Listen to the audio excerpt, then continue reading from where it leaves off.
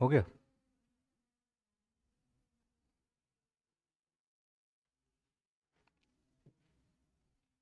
नमस्कार, जय जवाहर।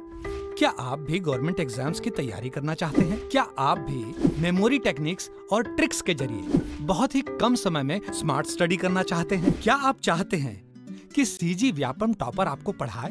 तो डाउनलोड करिए योगेंद्र साहू क्लासेस ऐप यहाँ 10 से अधिक गवर्नमेंट एग्ज़ाम्स क्रैक करने वाले और सीजी व्यापम टॉप करने वाले योगेंद्र सर सीजीपीएससी और सीजी व्यापम के अंतर्गत होने वाले सभी एग्ज़ाम्स की तैयारी कराए। तो डाउनलोड करिए। Yogendra Sahu classes app to be the best learn from the best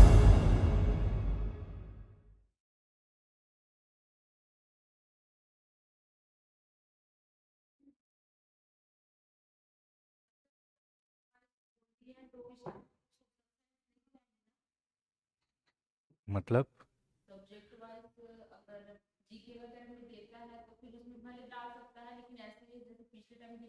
नहीं, वैसा नहीं। सब्जेक्ट वाइज होगा तो साइंस वाले मैथ्स और साइंस हल हल करेंगे, बाकी लोग सोशल हल करेंगे।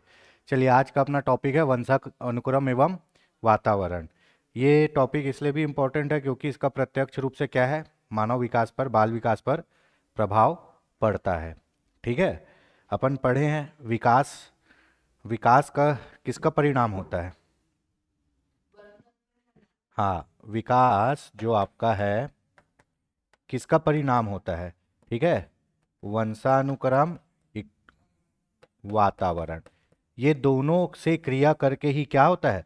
बालक का विकास होता है। तो ये टॉपिक अपने लिए इंपॉर्टेंट है, इसको देखते हैं। बढ़िया बढ़िया क्वेश्चन है इस पे। ठीक है? वंशानुक्रम एवं वातावरण। पहला है जन्मजात व्यक्तिक गुणों का योग फल है। जन्मजात व्यक्तिक गुणों का योग फल है। है ना? इसको क्वेश्चन को समझते हैं। आपको जो जन्मजात गुण मिलते हैं, वो कहाँ से मिलते हैं?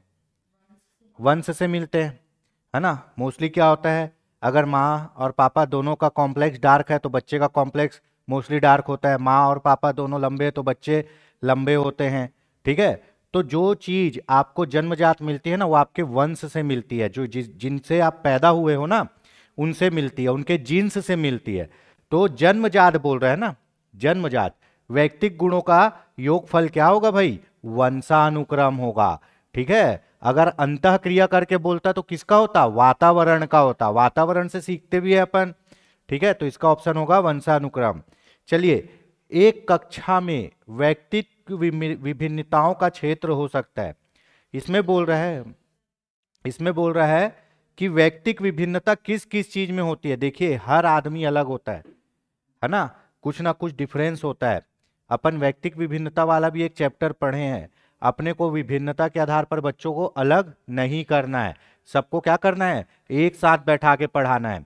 चाहे क्रिएटिव बालक हो या मंद बुद्धि बालक हो, सबको कैसे एक साथ बैठा के पढ़ाना है? तो भाई विभिन्नता, एक आदमी के अंदर कौन कौन से टॉपिक पे विभिन्नता हो सकती है? रुचियों में, ज़ाहिर सी बात है, कुछ बच्चों को मैथ्स अच्छा लगेगा, कुछ को साइंस कुछ को पेंटिंग सीखने में, कोई बालक बहुत जल्दी सीखेगा, कोई धीरे सीखेगा, कोई सीख ही नहीं पाता है। चरित्र में चरित्र में तो सबके विभिन्नता है। जितने लोग हैं, उतने चरित्र हैं, ठीक है? तो इसका ऑप्शन होगा क्या? डी उपरोक्त सभी, ठीक है? व्यक्तित्व विभिन्नता सभी में, जो बोल लो, सब में आएगा। है ना? सर्वाधिक उपयुक्त जीवित रहता है, कौन बोला है? बताइए, कौन बोला है? डार्विन का जीववाद का सिद्धांत, ठीक है? जो सबसे ज़्यादा उपयुक्त रहेगा, वही क्या रहेगा? प्रकृति में ज़िंदा रहेगा। अगर आप अनुकूलन नहीं कर पाए तो निकल लोगे भाई, ठीक है? हो गया? तो सर्वाधिक उपयुक्त, जो सबसे बेस्ट है, वही क्या होगा? ज़िंदा रह पाएगा। ठीक है? बहुत अच्छा क्वेश्चन आया है है ना? बालक का विकास किसका परिणाम है? प- पढ़े अपन। विकास इक्वल टू क्या होता है? अपन पढ़े ना डेवलपमेंट ठीक है? विकास इक्वल टू आपका वंशानुक्रम। और इनटू वातावरण। ये दोनों जब मिल के क्रिया करते हैं तो बालक का क्या होता है? विकास होता है। इसको एक बार और अच्छे से देख लेते हैं। क्वेश्चन कराने का यही सबसे बेस्ट फ़ायदा है कि क्या होता है? तुरंत तुरंत आपका रिवीजन भी हो जाता है। अब एक बालक है। ठीक है? अब एक बालक है जो लंबा है। ठीक है? जो लंबा है। अब ये लंबा इसलिए है क्योंकि इसकी मम्मी भी लंबी थी और इसके पापा भी लंबे थे। है ना? ये किसमें हो गया? वंशानुक्रम में। ठीक है? ये उसका स्ट्रक्चर हो गया। लेकिन बालक जिस क्षेत्र में रहता है है ना? बालक जिस क्षेत्र में रहता है, वो क्षेत्र पूरे साइंटिस्ट लोग का है, ठीक है? तो उसके भी ज़्यादा बनने के क्या है? साइंटिस्ट वैज्ञानिक बनने के ज़्यादा है है ना? क्यों? क्योंकि उसको वातावरण कैसा मिल रहा है? साइंटिस्ट का मिल रहा है। हालाँकि इसके मम्मी पापा साइंटिस्ट नहीं है, लेकिन उसका जो वातावरण है वो साइंटिस्ट का है। अब आप देखना, है ना? अब आप जैसे कोई एकदम थोड़े से बड़े स्कूल में जाओगे, बोर्डिंग स्कूल में जाओगे, उसमें ऑल इंडिया से बच्चे आते हैं। ठीक है? आपका बच्चा भी यहाँ से गया वहाँ पढ़ने, है ना? स्ट्रक्चर तो आपके शरीर का रहेगा, लेकिन उसका नेचर, उसका व्यवहार आपके जैसा नहीं रहेगा, क्योंकि अब वो आपके साथ नहीं रहता है, आपके वातावरण में नहीं रहता है। आप ही के कई रिश्तेदार नौकरी लगे होंगे तो बाहर बाहर होंगे फौज में तो उन लोग की लैंग्वेज अलग खान पान अलग, बोलने का तरीका अलग, ये कैसे डिसाइड हुआ? ये वातावरण में। तो ये जो विकास है, एक तो किससे? वंशानुक्रम और इंटू वातावरण। दोनों का क्या होता है? मेल होता है है ना? अब ये बच्चा क्या हुआ? एक तो ये हो गया लंबा, ये वंशानुक्रम में इंटू क्या बन गया? वैज्ञानिक। और यही इसका क्या है? विकास है। ठीक है? तो बालक का विकास किसका परिणाम है जी? वंशानुक्रम और वातावरण दोनों की अंत क्रिया का। अंतर किया मतलब उसके साथ बिहेव करते अपन। उसके साथ क्या करते इंटरेक्ट करते ठीक है? सामान्य संयुक्त कोशिकाओं में गुण सूत्रों के जोड़े कितने होते हैं? तेईस, है ना? तेईस जोड़े मतलब कितने होते हैं टोटल फोर्टी सिक्स। ठीक है? बंदर में कितने होते हैं? अपने आगे या पीछे रहता है? ज़्यादा रहता है ना? अपने जस्ट चौबीस, उनका चौबीस या कुछ रहता है। अपने ऊपर आलू या कुछ और रहता है। है ना? तो भैया ये देख लेना, आदमी का तेईस रहता है, उसके ऊपर एक कौन है, उसके नीचे एक कौन है? पूछ लेता है। तेईस जोड़े गुणसूत्र, इन्हीं लोग मिलकर क्या करते हैं भाई? भ्रूण का विकास करते हैं? जीन का विकास करते हैं? हाँ? पढ़ना भैया, इतना बेसिक साइंस तो पढ़े ही होगे क्या? ठीक है? इसी में इक्कीसवा जोड़ा गुण सूत्र अगर नहीं टूट पाता है तो क्या बीमारी होती है? डाउन सिंड्रोम इसी को ये गुण सूत्र के नाम से भी बोलते हैं अभी आएगा। डाउन सिंड्रोम क्या होता है? वो बच्चे का मानसिक विकास बहुत धीरे रहेगा, शारीरिक विकास बहुत धीरे रहेगा। ठीक है? और लगभग सभी बच्चे जो डाउन सिंड्रोम से ग्रसित रहते हैं ना, सबके चेहरे लगभग एक जैसे ही दिखते हैं। ठीक है? तारे जमी पे पिक्चर देखे हो? आमिर खान जो स्पेशल स्कूल में पढ़ाता है, जिसमें वो मानसिक रूप से कमज़ोर बच्चे पढ़ते हैं, उन्हीं लोग हैं डाउन सिंड्रोम ठीक है? ये हो गया। सामान्य पुरुष में गुण सूत्र होते हैं, जबकि सामान्य महिला में कौन सा गुण सूत्र होता है भाई? डबल एक्स होता है। पुरुष में क्या होता है? एक्स और वाई पुरुष में गुण सूत्र कौन से होंगे? पुरुष में एक्स और वाई और महिला में क्या होगा? है ना? एक्स एक्स ठीक है? अगर एक्स एक्स मिलते तो क्या पैदा होगी? लड़की पैदा होगी। अगर एक्स वाई मिलते तो क्या पैदा होगा? लड़का पैदा होगा। इतना तो सबको पता है तो इसका क्या होगा? महिला में डबल एक्स ठीक? लड़का पैदा होने के लिए उत्तरदायी। क्रोमोसोम्स है। कौन से हैं? ये एक्स वाई है है ना? ये गलत टाइप हुआ है। एक्स वाई है। लड़का पैदा कैसे होता भाई? जब पुरुष का एक्स है ना? और महिला का एक्स मिलेंगे तो क्या पैदा होगा? लड़की, है ना? और जब पुरुष का वाई और महिला का एक्स मिलेंगे तो क्या पैदा होगा? लड़का। ठीक है तो लड़का के लिए क्या होगा? एक्स वाई बहुत इंपॉर्टेंट क्वेश्चन दूसरे वर्ष के अंत तक बच्चे के शब्द भंडार कितने हो जाते हैं? कई बार बना चुके हैं, सौ शब्द हो जाते हैं भाई, ठीक है? दूसरे वर्ष के अंत तक बच्चे का शब्द भंडार कितना होता है? सौ शब्द होता है, ठीक है? भाषा पढ़े ना, बच्चों की भाषा अपन पढ़ाए ना, कैसे भाषा विकास होता है बच्चों में? पढ़ाए कि नहीं पढ़ाए भाई?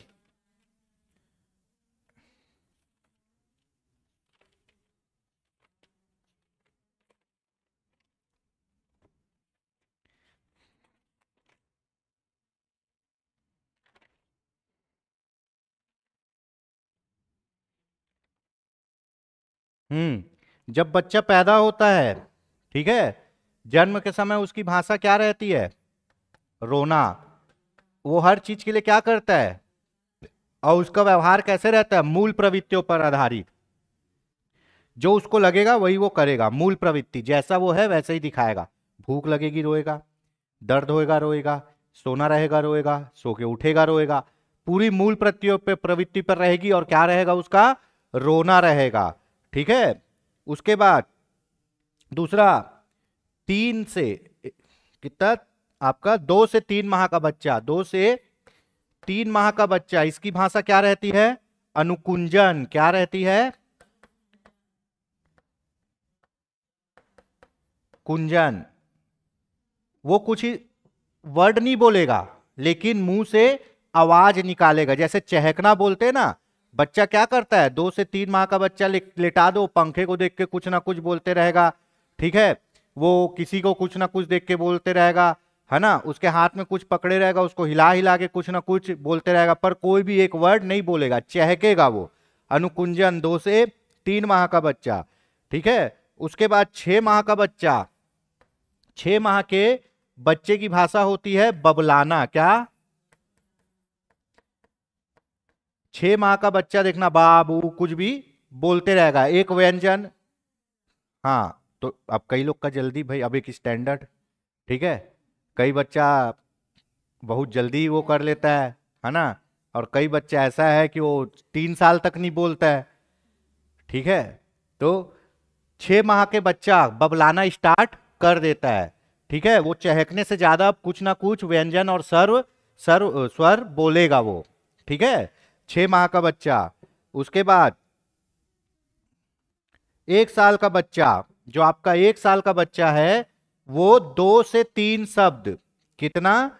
दो से तीन शब्द। माँ, पापा, दादा, दो तीन शब्द बोलेगा। ठीक है? अब एक साल के बाद आपका अठारह माह से चौबीस माह का बच्चा, है ना? क्या करेगा? टेलीपैथिक। क्या? टेलीपैथिक लैंग्वेज बोलेगा। मतलब दो तीन शब्दों को वो जोड़कर बात करेगा, जैसे माँ, पानी या कुछ भी। दो तीन शब्दों को वो जोड़कर बात करेगा। इसको बोलते हैं टेलीपैथिक लैंग्वेज, ठीक है? दो साल का बच्चा, ठीक है? दो साल से ऊपर का बच्चा, क्या करेगा? सौ शब्द भंडार होगा इसके पास। कितना? सौ शब्द भंडार। लगभग वो सौ शब्दों को बोल पाएगा, ठीक है? भाषा विकास के लिए सबसे संवेदनशील अवस्था कौन होती है? पूर्व बाल अवस्था। दो से छह वर्ष, ठीक है? ये पूरा मैं रिवीजन करा दिया भाई। दो साल के बच्चे में कितना शब्द भंडार होता है? सौ, ठीक है? प्रकृति पोषण विवाद निम्नलिखित में से किससे संबंधित है? प्रकृति और पोषण विवाद निम्नलिखित में से किससे संबंधित है? वातावरण। प्रकृति, है ना? जैसे आप पैदा हुए हो, पोषण, जैसे आपका, पोषण कहाँ से मिलता है जी आपको? वातावरण से मिलता है ना न्यूट्रिशंस तो प्रकृति और पोषण का जो इंटू है वो क्या है? अनुवांशिकी और वातावरण। चलिए। शारीरिक विकास का क्षेत्र कहाँ कहाँ है? बताइए। स्नायुमंडल होता है मतलब तंत्रिका तंत्र नर्वस सिस्टम तंत्रिका तंत्र क्या होता है जी? वो तंत्र जो आपके पूरे शरीर को चलाता है। ठीक है? आप जो जितनी भी एक्टिविटी करते हो मतलब आपके शरीर का पूरा वो केबल है, तार है जिसमें करंट दौड़ रहा है और अब क्या कर रहे हो? चल रहे हो। जिसका तंत्रिका तंत्र काम नहीं करेगा ना उड़ भी नहीं पाएगा। वो मुर्दा जैसे पड़े रहेगा। ठीक है? नर्वस सिस्टम है ना? जब आप बहुत थकते हो तो आपके नर्वस सिस्टम में इफ़ेक्ट पड़ता है, क्योंकि वो कमज़ोर हो रहा है। जब आप बहुत एक्टिव होते हो तो नर्वस सिस्टम में इफ़ेक्ट पड़ता है। क्यों? क्योंकि वो बहुत चार्ज है। जो अपन ताकत की गोली ये सब खाते हैं ना, वो नर्वस सिस्टम को क्या करता है? एक्टिव करता है। ठीक है? पैरालिसिस आदमी क्यों नहीं खड़ा हो पाता? क्योंकि उसका नर्वस सिस्टम काम नहीं करता है। मांसपेशियाँ हाथ को उठाती नहीं है। है ना? तो उसको क्या करते हैं? एस्ट्रॉइड देते हैं। उत्तेजक देते हैं, जो क्या करता है? शरीर में उत्तेजना पैदा करता है, जिससे क्या होगा? वो मांसपेशी काम करेगी। तो स्नायु मंडल मतलब होता है नर्वस सिस्टम। नर्वस सिस्टम शारीरिक विकास का क्षेत्र है भाई। मांसपेशियों की वृद्धि बढ़ता ही है शारीरिक विकास में मांसपेशी, है ना? एंडोक्राइन ग्लैंड्स आपका जो ग्रंथिया है, वो भी बढ़ता है। तो शारीरिक विकास का क्षेत्र क्या होगा? डी, उपरोक्त सभी। अगर यहाँ पे तर्क करने की क्षमता दे देता तो क्या शारीरिक विकास होता? नहीं। वो क्या होता? मानसिक विकास होता। जितना भी हम दिमाग से काम करते हैं, वो है मानसिक विकास। और जो हमारा शरीर बढ़ता है, वो है शारीरिक विकास। वृद्धि और विकास में बहुत डीपली इसको पढ़े अपन। ठीक है? चलिए, देखते हैं। निम्नलिखित में से कौन सा वंशानुक्रम का नियम है? बहुत ज़बरदस्त क्वेश्चन है जी।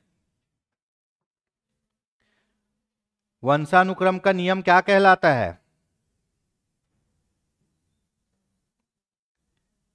देखिए, सीखने का नियम, है ना? ये तो है नहीं, प्रयास और त्रुटि का सिद्धांत किसका है? थांडाइक का है है ना? लर्निंग थ्योरी किसका है? आपका स्किनर का है, स्किनर या थांडाइक का है है ना? स्वास्थ्य का कोई नियम होता नहीं। वंशानुक्रम, समानता का नियम।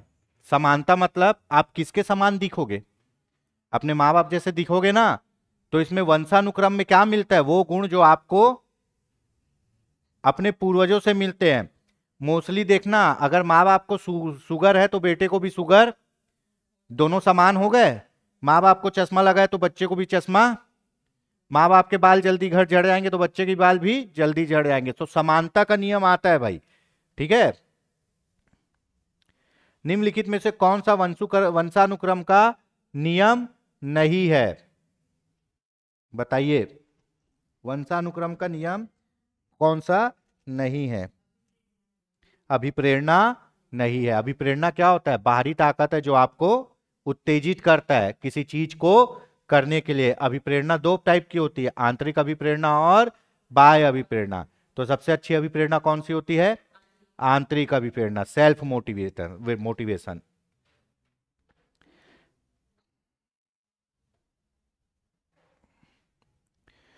यह बच्चे जिनकी मानसिक आयु, उनकी काल क्रमिक आयु से कम होती है, कहलाते हैं।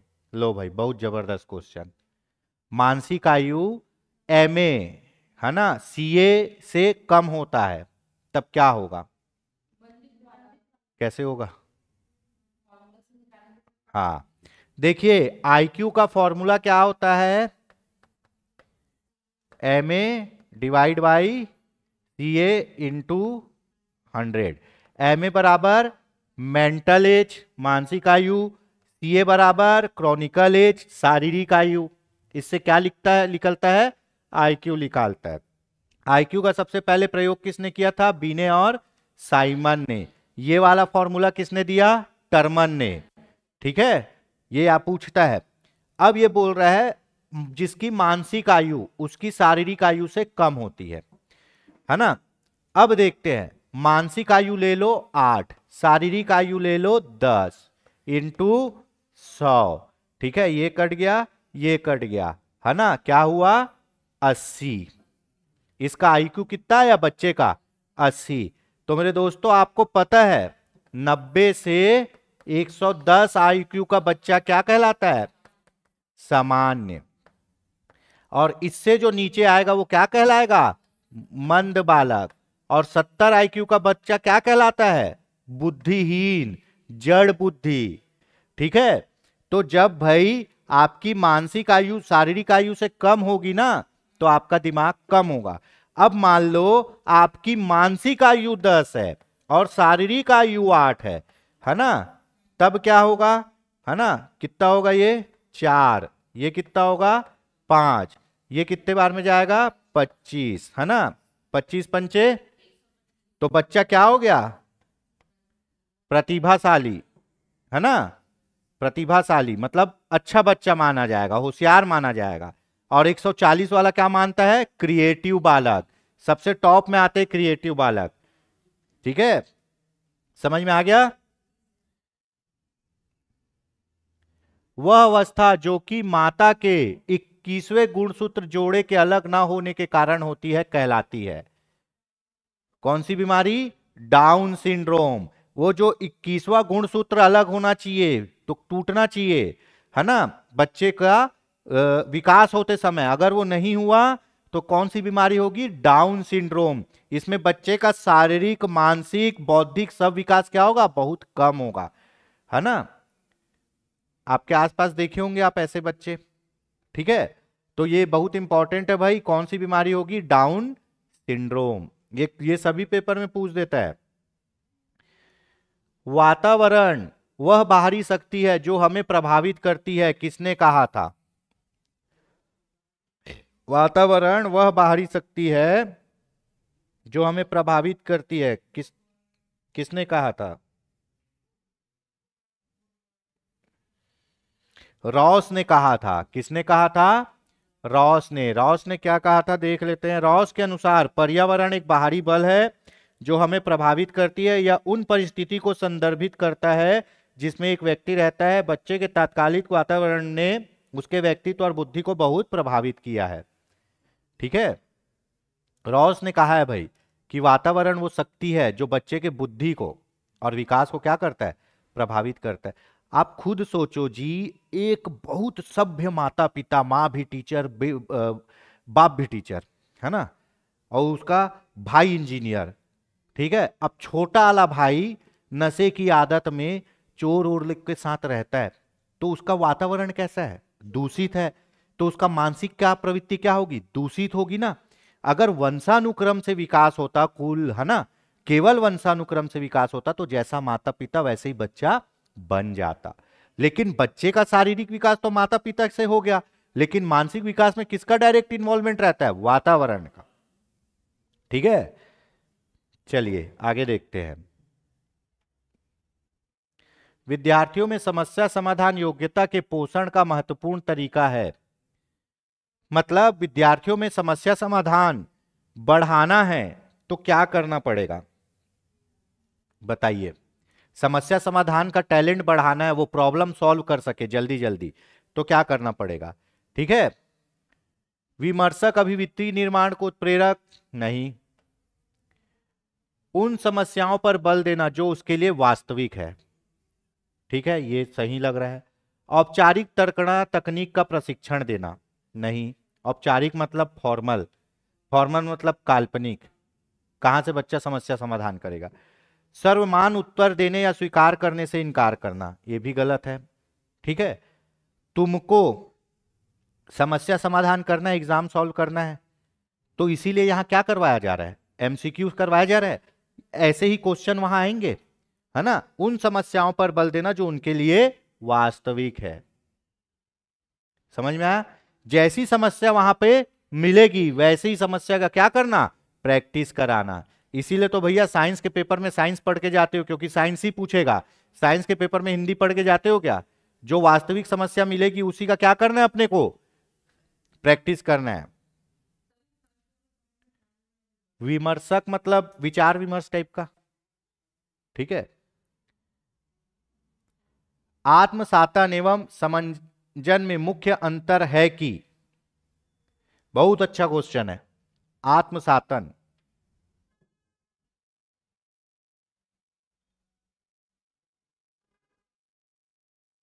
बताइए।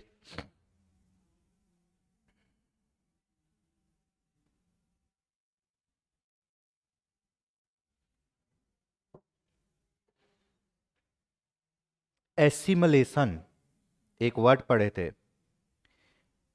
एसिमलेशन है ना? क्या होता है? बताइए क्या होता है? सब तुम लोग पढ़ के आते नहीं हो पूरी मेहनत मेरे से ही कराते हो। हैं?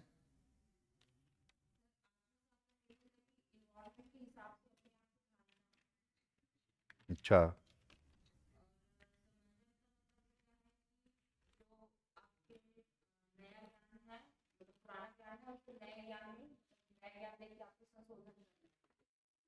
मैंने ऐसा पढ़ाया था।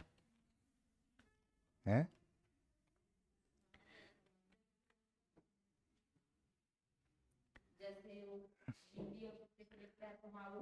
नए ज्ञान को पुराने ज्ञान से जोड़ना कहलाता है आपका एसिमुलेशन आत्मसातन। और सामंजस्य कैसे बोलते ना भाई? सामंजस्य स्थापित कर। वर्तमान परिस्थिति के साथ क्या करना है? सामंजस्य स्थापित करना है। तो आप तो उल्टा बोल रहे हो ना? ठीक है? सामंजस्य वर्तमान ढांचे का उपयोग है, जबकि आत्मसात क्या है? नए ढांचे का निर्माण है। चलो इसको क्लियर कर देता हूँ। इसमें वर्ड बता देता हूँ आपको। आत्मसातीकरण, पूर्व ज्ञान से नए ज्ञान को जोड़ना, समायोजन, ज्ञान में परिवर्तित करके वातावरण के साथ तालमेल बिठाना। उसके बाद संतुलन, आत्मसातीकरण और सामंजस्य के बीच की स्थिति क्या कहलाती है? संतुलन। उसके बाद आता है स्कीमा। स्कीमा में क्या आता है? आपका जो दिमाग में इंफॉर्मेशन है, उससे क्या निकलता है? एक छवि बनती है। ठीक है? ये सब किसका है? जिन प्याजे का है। ठीक है? भैया, आप सामंजस्य किस, कैसे बैठाते हो?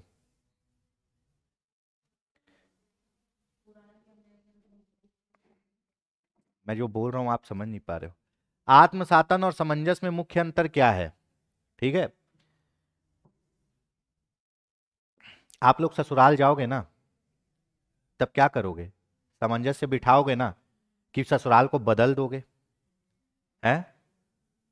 पाँच लोग तुम्हारे अनुसार एडजस्ट करेंगे कि तुम पाँच लोग के अनुसार करोगे।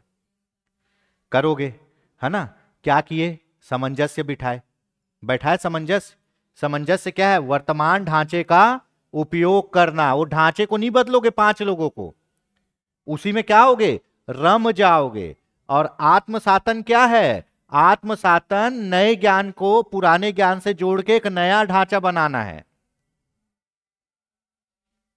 समझ में आया?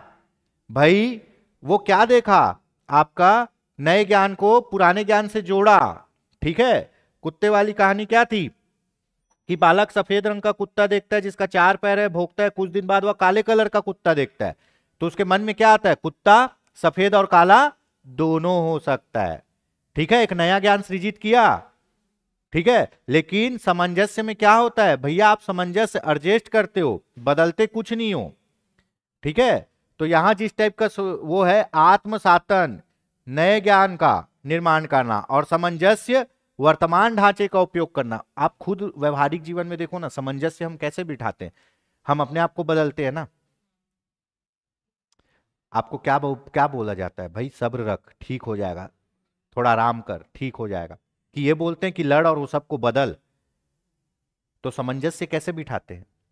और आत्मसात में क्या है? नए ज्ञान को पुराने ज्ञान से जोड़ोगे तो कुछ और नया बनेगा। अब पहले उसका ज्ञान था सिर्फ़ किसका? सफ़ेद कुत्ते का। अब ज्ञान क्या हो गया है? काले कुत्ते का भी हो गया है। ठीक है? चलिए। इसका ऑप्शन होगा बी। आगे देखते हैं। पर्यावरण के अंतर्गत क्या आते हैं भाई? बताइए।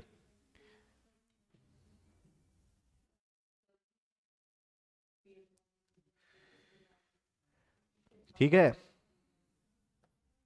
पेड़ पौधे जीव जंतु क्या है ये? प्राकृतिक पर्यावरण। रिश्ते, नाते, संस्कृति, सामाजिक। सड़कें, मकान, पूजा स्थल, भौतिक।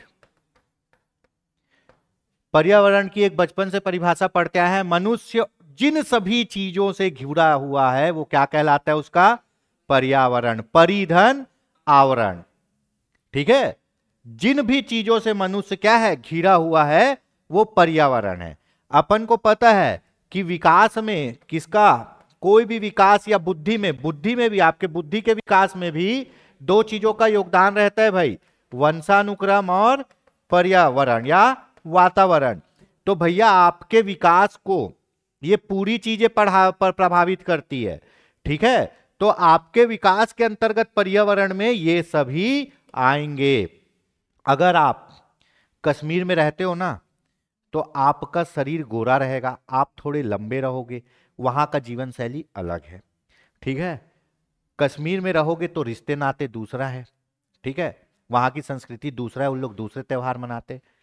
वहाँ के मकान, सड़कें, पूजा स्थल दूसरे हैं। ठीक है? वहाँ के मकान क्या है? आपके लकड़ी वाले रहेंगे, है ना? पूजा स्थल क्या है? सड़कें क्या है? सड़कें या तो कच्ची रहेगी या पहाड़ी रहेगी। पूजा स्थल में वहाँ पे क्या है? मुस्लिम समुदाय ज़्यादा है तो आपको मस्जिद ज़्यादा मिलेंगे। वही आप साउथ में चले जाओ। साउथ में चले जाओ, वहाँ आपको आम किसका? आम का पेड़ और नारियल का पेड़ मिलेगा। रिश्ते नाते दूसरे टाइप से। उन लोग पोंगल मनाएँगे, ऊपर वाले ईद मनाएँगे। सड़क, मकान कैसे रहेंगे? एकदम स्वच्छ रहेंगे, पक्के बने रहेंगे, थोड़े हेरिटेज टाइप के रहेंगे मतलब ऐतिहासिक टाइप के ज़्यादा है उधर। तो भैया यही सबसे क्या होता है? आपका पर्यावरण डिसाइड होता है। चलिए बालकों की अभिवृद्धि एवं विकास में अभिवृद्धि शब्द बालकों के व्यक्तित्व के किस पक्ष से संबंधित है? अभिवृद्धि। अभिवृद्धि भाई, बताइए।